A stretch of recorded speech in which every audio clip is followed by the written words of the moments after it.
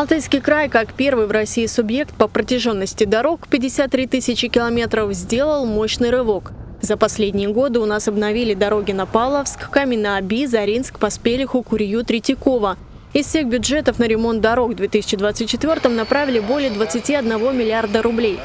Большие надежды власти питают на обновленную дорогу Алтайская Ая-Бирюзовая Катунь, где уже отремонтированы 20 километров. За счет средств инфраструктурных кредитов за два года будет проведена реконструкция этой же дороги на участке протяженностью еще 7 километров. Стоит отметить, что такие серьезные вложения позволяют создать э, наиболее развитой туристической зоне Алтайского края практически дублер Чуйского тракта. Депутаты КЗС заслушали отчет о работе Министерства транспорта. Так в ведомстве отмечают, что ситуация с автобусами в Барнауле, цитата, стабилизирована за счет новых машин, которые ходят по первому и десятому маршруту.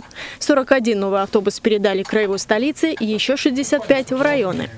Благодаря этим мерам, в частности, удалось восстановить транспортное сообщение населенных пунктов с районными центрами и городами в Суецком, Волчхинском, Родинском, Угловском, Калманском, Курьинском, Рубцовском, Ребрихинском и других районов.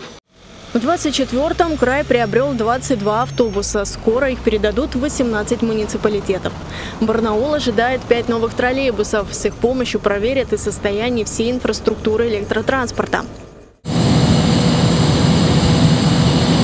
В министерстве ждут превышения показателей прошлого года по перевезенным авиапассажирам. За 9 месяцев года уже 600 тысяч человек. За весь 23 было 700.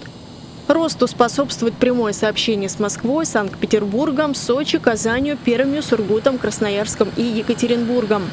Явно скажется на потоке и обновлении комплекса аэропорта. Его введут во второй половине 2025 года. А после компания «Новопорт» может приступить к строительству аэровокзала в Белокурихе, сообщил Антон Воронов. Анастасия Драган, Владислав Ковалев. День с толком.